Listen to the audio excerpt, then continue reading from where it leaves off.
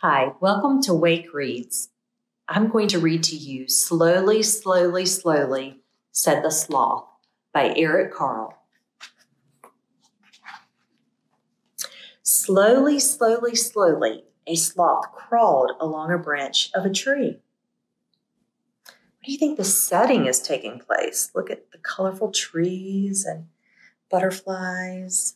What type of animal is this? Slowly, slowly, slowly, the sloth ate a leaf. Wow, look at the big snake. Slowly, slowly, slowly, the sloth fell asleep. He's always hanging upside down, huh? The sloth.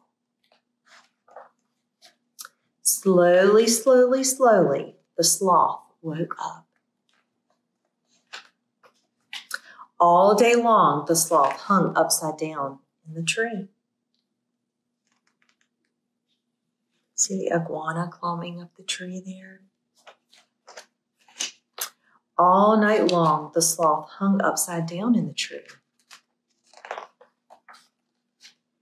Even when it rained, the sloth hung upside down in the tree.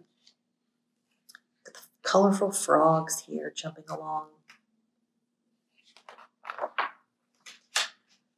Why are you so slow? the howler monkey asked one day, but the sloth didn't answer. Why are you so quiet? the caiman asked, but the sloth didn't answer. Why are you so boring? the anteater asked, but the sloth didn't answer. Look at the tail on the anteater, the long neck and nose. Tell me, said the jaguar, why are you so lazy?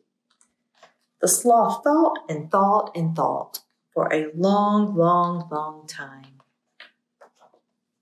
Finally, the sloth replied, It is true that I am slow, quiet, and boring.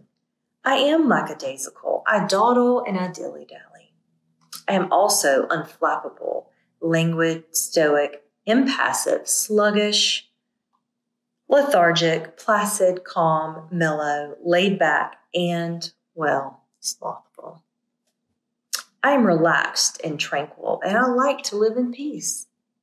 But I am not lazy. Then the sloth yawned and said, That's just how I am. I like to do things slowly, slowly, slowly. Here we can see all of the amazing animals and reptiles that are a part of the Amazon rainforest. I hope you enjoyed this book as much as we have.